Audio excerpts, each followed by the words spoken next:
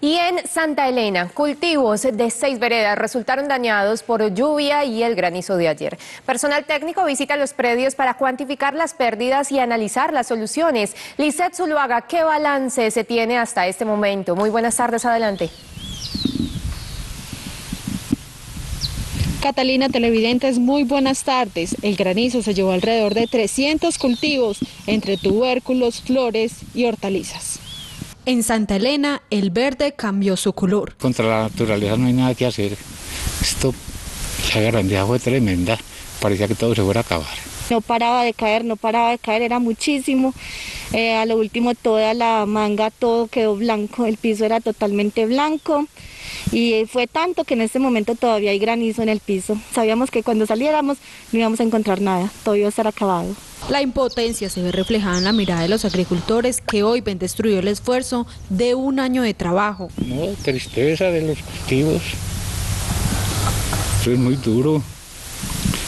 Que en cuestión de 15 minutos se acabe todo.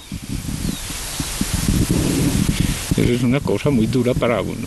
Lo vivido ayer con las lluvias, para ellos fue como el apocalipsis. Y nos acabó todo lo que teníamos, tanto las flores que teníamos sembrados para ahorita Feria de Flores y para la visita de los turistas, como las hortalizas que tenemos para sacar a la venta. Estas flores perdieron su color, los pensamientos se apagaron, las hojas muestran los rezagos del hielo y los campesinos van perdiendo sus fuerzas.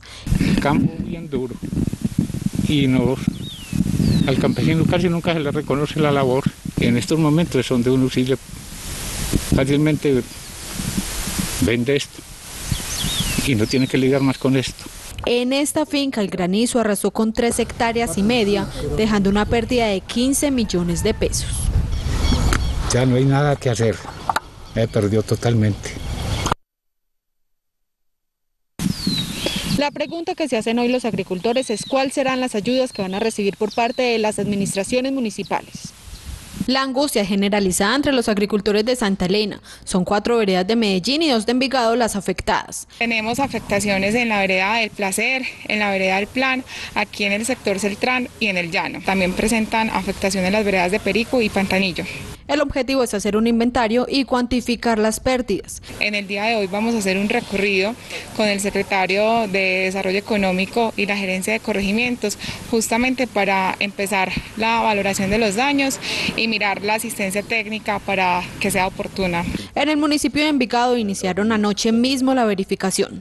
Vamos a hacer un inventario real de, de los daños y de la afectación que tenemos para tratar de llegar con ayudas. Los campesinos esperan apoyo, pues han invertido su vida cultivando en este corregimiento. Muchos de estos cultivos estaban planeados para la Feria de las Flores de este año, como estos gladiolos, que son los que tienen las mayorías de las silletas. El sentimiento de los agricultores este año es de incertidumbre porque no saben cómo se va a desarrollar entonces la feria. Lizeth Zuluaga Espina, Hora 13 Noticias, cubrimiento total.